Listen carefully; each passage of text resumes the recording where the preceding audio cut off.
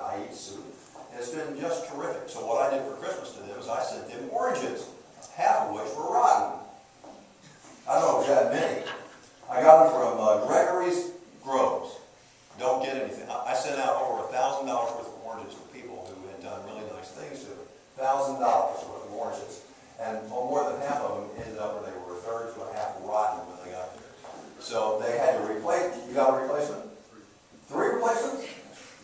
Hey, we can have orange juice. Put a little vodka with that, but that's what we're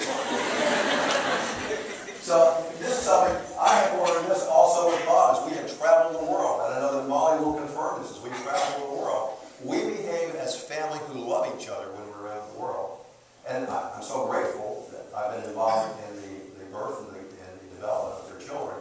And in Molly's case back here, Molly, I was there when Jace was born. I think I saw Jace before you did, as a matter of fact. You know? And so we have Jace, we have Luke, we have Jonah, and then we have Marie, who has my heart. You know, she is 11 or 12? 12. 12. And her birthday is January the 8th. I'm quite certain you know better than I do. Okay. How could I forget that? She puts notes on my car, I love you. They call me Dubby Dub. I don't like that, you know. Just don't call me Bubba. And so I have to ask you, I, you know, I'm, uh, I'm really a romantic about the things I do. I love what I do. So do you have a cure for me? Do you have a cure for me? I'm not looking for a cure for my illness. That's going to work out itself. But how do you cure a hopeless romantic? And I don't think you can. So I have to do that by making good choices. And I think I've made those choices. And I think I've made those choices because people like those of you sitting here are the craftsmen of my life. You're the craftsmen of my soul. You're the craftsmen of my spirit. And what I brought here for you is actually a cremation urn that was given to me in 1989 uh, in Seoul, Korea, by a gentleman by the name of Gregory Cho. Gregory's niece, Unan Cho, so we may have, is in our PhD program right now. But this cremation urn has been on display, I think my wife has given me a hint. It's been on display in my house on this since I got it. She thinks it's a beautiful piece of furniture. So I said, are, are you really going to put my ashes in this thing? She said, are you crazy?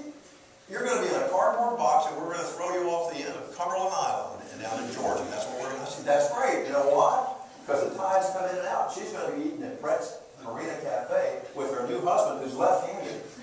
You know, and, and they're going to be using my American Express card, but I'll go out with the tides and I'll eat with them. I think that's. But within this today, I can tell you the spirit that you give to me. You shape and mold and polish me. I love what I do. I'm blessed with what I do. I'm honored to be here with you each and every day.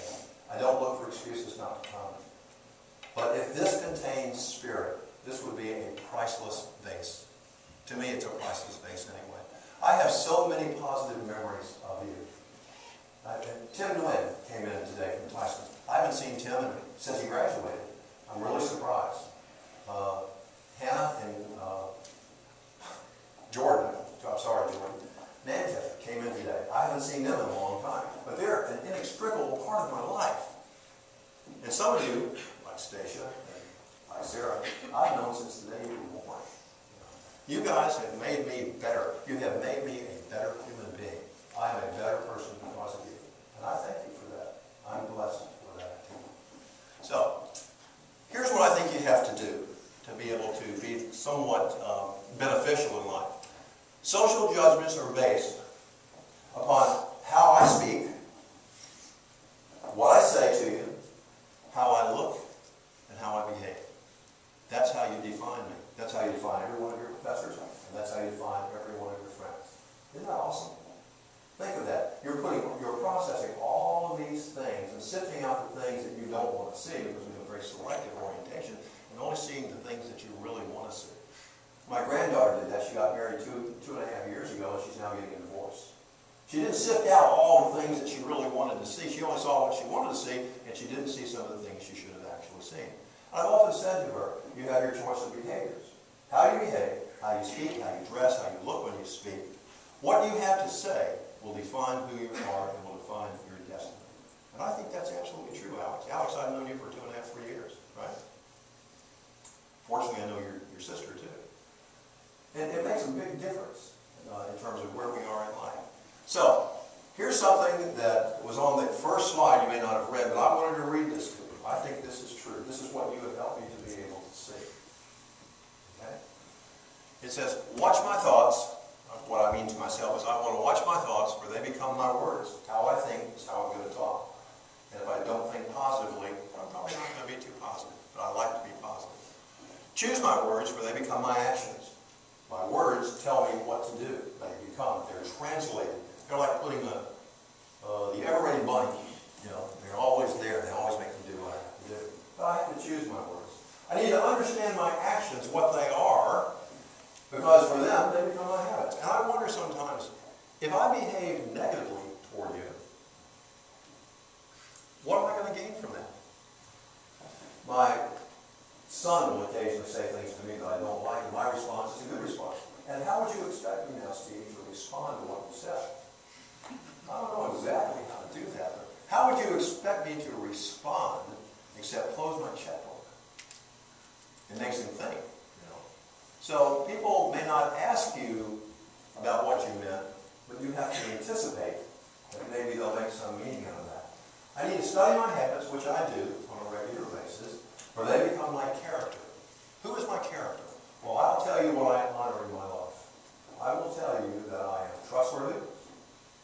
These are the characteristics that I have, the attributes. I am trustworthy. I am loyal. I am helpful. I'm friendly. I'm courteous. I'm kind. I'm obedient. I'm cheerful. I'm thrifty. I'm brave. I'm clean and I'm reverent.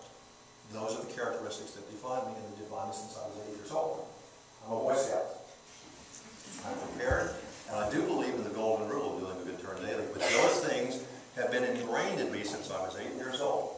And so when I interact with people around me, adults, not my, not my mother and my father, have made my character what it is today.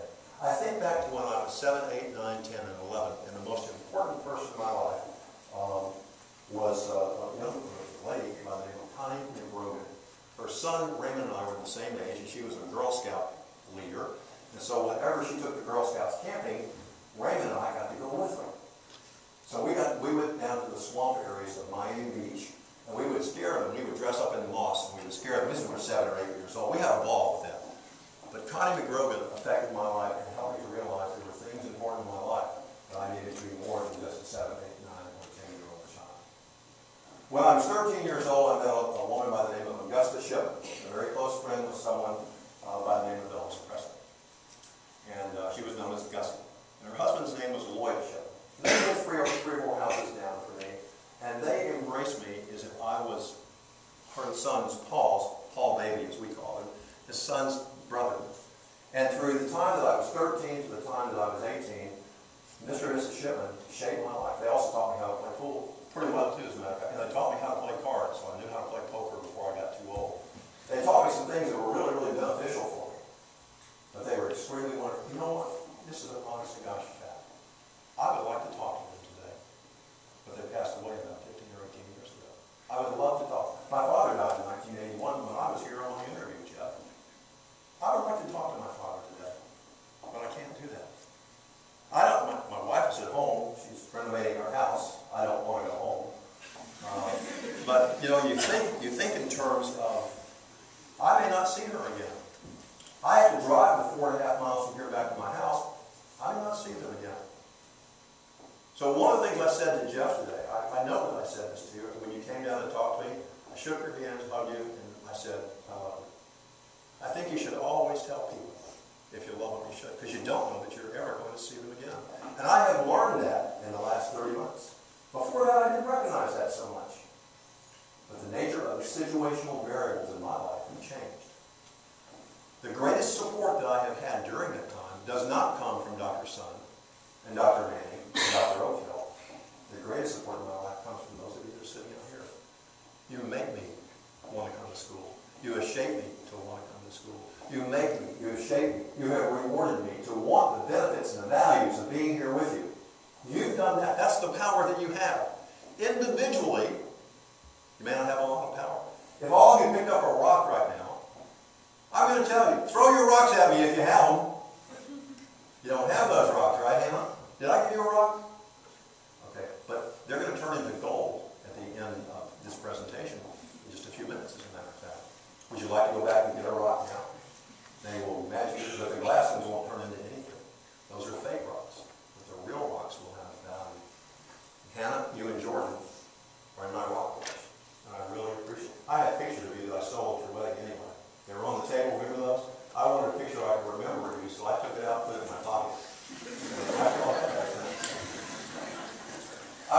become my, my habits become my character, and I want to develop my character, which you've done. I haven't done that. You've shaped me, you've molded me, and you've polished me into what I am today. And I'm not a masterpiece, but I still want to be. And you can help me be able to do that, because that becomes my destiny. And my destiny is one that embraces you and has relationships. That's what I want to be able to be in my life, and I think that's important. I've also found in my life that I have to manage something that's really important to me too. Scott, you'll appreciate that, because Scott and I work on Saturdays and Sundays, and other ones faculty do too. But we work on Saturdays and Sundays, and that would suggest to my wife, you're not managing your time a whole lot, you know. So I have found that I need a compass in my life to help me manage my time, and this is the compass that I have. My compass has a north and south that is urgent, and an east and west that's important. And so the things that are, bye Molly, thank you for coming. The things that are important and urgent, I gotta do them right now. Tonight's important and urgent. It's date driven, it's time driven. It's important and it's urgent. And I'm happy to be here, and I'm proud to be here, Shelby. So do it now. I have other things that are urgent, but they're not very important. Like, for example, some of you may be doing it right now. When your phone buzzes or rings, you have to answer it. You don't have to answer the damn thing. You don't have to do that. You know, you're not a, rouse, a mouse running through a maze. You can put that off, you can turn it off, but it's too important. You made it urgent to answer that, and it's just someone telling you to bring a pizza to the beer park. You know, maybe, I don't know what's going on. So, you do it now, but maybe you shouldn't do it now. And then I have the things that are not urgent, but they are important, and that's what we call planning. We plan for those things. And I've planned for my continuing life, because I have a James Dean orientation toward life. I'll explain that to you in just a couple of minutes. And then you have the things that are not important, and not urgent. And no, we're so darn good at being able to do those things that we do those things all the time. You should put in a someday situation. The things that are not important and not urgent shouldn't take up your time. But they're so much fun, we do them so well, we just keep doing them. And if we did it the same way yesterday and do it today, we're going to do it again tomorrow the same way. The past predicts what the future is going to be. Make a choice to use your time. You have 168 hours a week. That's what I've got. What do you get out of 168 hours a week? I have time for my family. I have time for my wife. I have time for, for work. I don't have, I haven't, I, that's not fair to say that. I haven't translated the time for some things that I know I should be doing, and they are becoming more important to me, and I'm beginning to do those. I recognize that I'm deficient in some of those areas. So maybe take an example, if you will, from my compass. Ask yourself what's important in your life and what's urgent in your life. And do the things that are urgent and important. That's what you're going to be evaluated on. You're going to do the things that are not urgent but important. That's what you're going to be, but you're not going to be evaluated on the unimportant things that are either urgent or not urgent. You're not. It just doesn't happen. Not in my life. So, this is a statement that comes from Daniel Gibran. It says that wisdom ceases to be wisdom when it becomes too proud to weep, too grave to laugh, and too selfish to seek other than itself. Well, you're in a, uh, a mothership of wisdom here at the university. A lot of wisdom around. But you know the good part about our colleagues is they recognize the wisdom isn't the end. Stepping stones to where you want to be able to go. Gibran says. This is one of Gibran's also. This is in the inside of my wife's wedding ring from May the, I hope I'm right, 27th, 1977. It says, when love beckons, follow. And that's what I'm going to ask you to do. I've learned that when you love something a lot, Paige,